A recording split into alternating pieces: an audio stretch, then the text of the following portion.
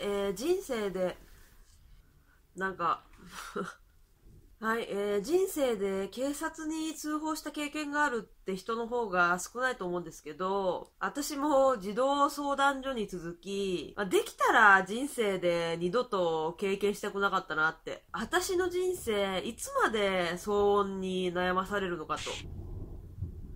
あー、雷がすげえ。まあこれは日常的な騒音ではなくて、昨日だけうるさかったって感じです。あの、バーベキューのニュースあったじゃん。あれも一言だと思ってたんだけど、昨日家の近所でヤンキーが6人ぐらいで昼間からずっとバーベキューやってて、普通に住宅街のこういう家の前でだよ。で、全員帽子、まあ、キャップ、T シャツ、柄短パン、サンダルで、ニュースみたいな金髪もいたし、もう見事にバカのテンプレファッションなの。バカってなんでこんなに似るんだろうって、ちょっと一周回って感動しちゃった。小さい子供も5人くらいいて、もうここで田舎もんって声でかいって言ったのと全く同じで、笑い声がすっごいうるさいの。笑うのはいいんだけどさ、もっと静かに笑えるでしょって。あの、レペゼン地球の脇くんってさ、笑い声めちゃめちゃうるさいよね。ああいう感じ。なんか、フォイとか、社長は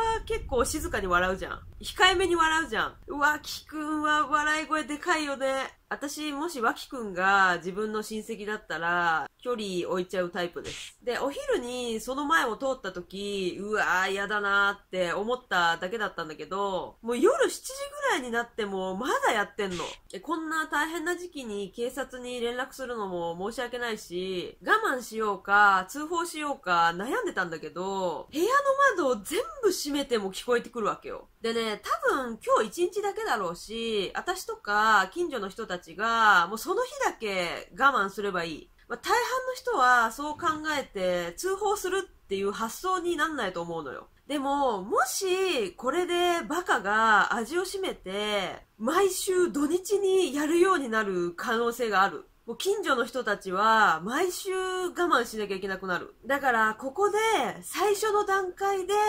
近所から通報があってきました。で、警察登場したらビビってもう二度とやらなくなるじゃん。私が大神桜ちゃんみたいなガタイだったらそりゃ自分でちょっとうるさいですよって言いに行きましたけど。あー、シュワちゃんの肉体になりてえな。あの、コマンドの時のシュワちゃんの肉体になりてえ。そういう考えもあって、で、騒音で110番してもいいのかなって一応ググってから電話しまして、すぐ女の人が出て、事件ですか？事故ですか？って聞かれる。それはググった時に出てきたサイトに書いてあったんで、まあ騒音ですと。どういう騒音ですか？って聞かれて、まあ、家の近くで、家の前でバーベキューしてる人がいるんですけど、お昼からずっとやってて、声がすごくうるさいと。えー、何人くらいですか？えー、6、7人で、子供も5人くらいいます。で、お住まいの地域はどこですか？って聞かれて、あ、〇〇です。住所お願いしますって言われて、あ、そっか、住所聞かれるんだって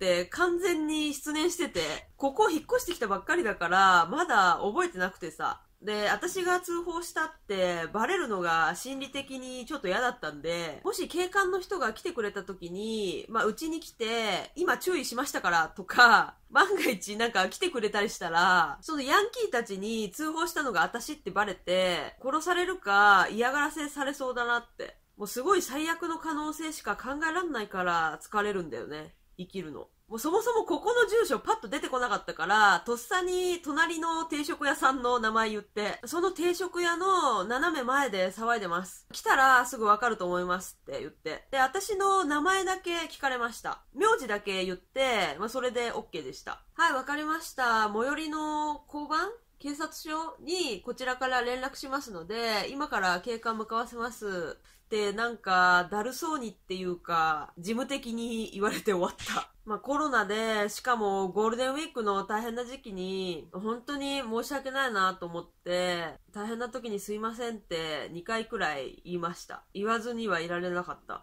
で、こういうのってね、通報して警官が来るまでに10分とか15分かかるわけじゃないですか。その間に静かになったりするんだよね。でさ、来た時はもう静かだから、あれ？何にもうるさくねえじゃん。またいたずら通報かって思われて終わるんだよね。いや、いたずらじゃないのに。これ、悲しいすれ違いね。なんか、今回の騒音はお昼から始まったけどさ、始まったら必ず終わりがあるじゃん。その終わりのタイミングに通報しちゃったら、もう悲しいっつうか、すごい難しいよね。まあ、私が最初にうるさいなって思った5時もう5時にもう悩まないでさっさと通報しちゃえばよかったって思った。で、通報して15分くらいして、あれ？なんか静かになったなと思って様子見に行ったのよ。そしたらもう誰もいなくなってて。でも家の中からちょっと騒いでるような音がすんの。あー、もうたまたま私が通報したタイミングで片付けちゃったのかなと思って、また110番して、まあ、さっき電話したものですけど、なんかもう片付けて引っ込んだみたいです。すいませんって、また電話したい気持ちをぐっと抑えてですね、多分ここまでやると気持ち悪いんでしょ？一般的には。で、これから警察の人来たら申し訳ないなと思って、ちょっと謝りたいなと思って、ちょっと待ってたの。でも、警察の人も全然来なくて、で、よく考えてみると、この家、駅の近くなんで、割とすぐそこに交番があるのよ。だから、そこに連絡が行って、もう近いからすぐ来て、怒ったから、バーベキューバカたちは部屋の中に引っ込んだのかなって。怒ってる声とか聞こえなかったから、もうそもそも警官が来たのか、来なかったのかもよくわかんないまま終わっちゃった。私が様子見に出た時は、もう全てが終わってたのかも。だから私の中では、あ、ちゃんと来て、注意してくれて終わったんだなってことにして、した。まあこれツイッターで言ったら、近所のうるさいやつ何回も通報してるけど、警察一回も来てくれたことないよって方もいたんで、その管轄によるのかもしんないね。まあいい人たちがいる交番警察だったらちゃんとしてくれるし、すごい嫌な感じの人しかいない、外れの地域に住んじゃったら、もう全然頼りになんないっていう。で、私、定食屋さんの住所を言ったから、あ、えっと、ちょっと待ってくださいねって言って、その、定食屋さんのホームページ見て言ったから、住所を。もし、定食屋さんに、ちょっと近所の方から通報があったんですけど、この近くでなんか騒いでる人いましたか？とかって警察の人が言ってたら、すごい申し訳なかったなって、罪悪感がやばくてさ、だっていきなり警官が来たらビビるやん、誰でも。うん、行ってなかったらいいんだけどな。で、警察の人から、今着きましたけど、どの辺ですか？とかって折り返しがかかってきたりはしなかった。で、今、近所の店が営業してるから、なんとかしろ、みたいな、見当違いな通報が、やっぱ多くなってるみたいで、なんか申し訳なくなったよ。こういう人たちと、本当に困っててした通報が、一緒くたにされるの、すごい嫌だなって。変な通報ばっかり増えてるから、警察の人も塩対応だったんでしょうね。うん。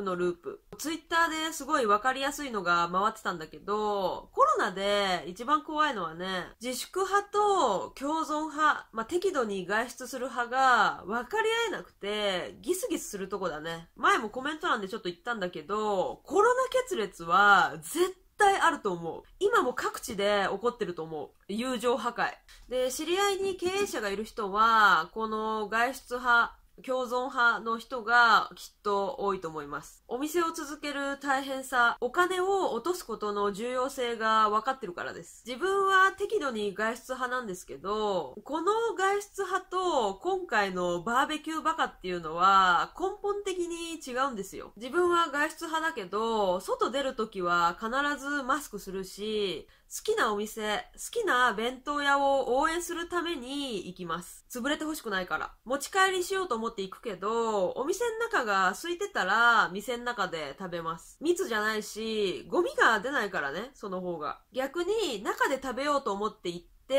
あ、ちょっと混んでるなって思ったらやめます。まあ、適当にテイクアウトして帰ります。そういう外出の仕方はするけど、この時期にバーベキューやろうぜとか、みんなで映画見に行こうって企画したりはしないわけよ。だから本当に難しいよね。なんかめっちゃ家族連れ歩いてんなって思っても、まあ、子供も家の中にずっといたら、外出たいってってぐずるかもしんないし、それずっと一緒にいたら親御さんも病んじゃうし、たまたま自分が外出た時に家族連れが歩いてたけど、それは向こうの家族からすると、一週間ぶりの外出かもしれないよね。とかっていろんな可能性があるってことに頭を働かせてですね、あんま他人に興味持たない方がいいよね。だって本当あらゆるパターンがあるもん。私は我慢して全然外出てないのに、他はもう普通に出てることが許せないって思うなら、お前も出ればいいじゃんって思いますね。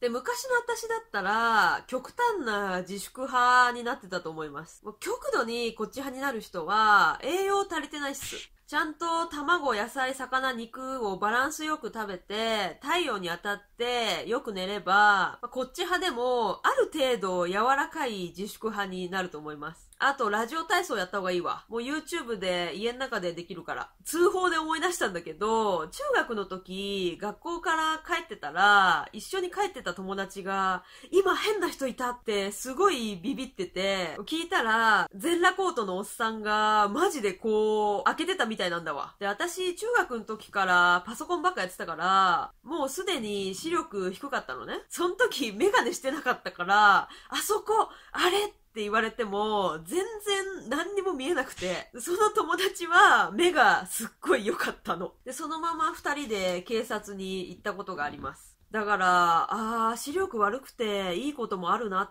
て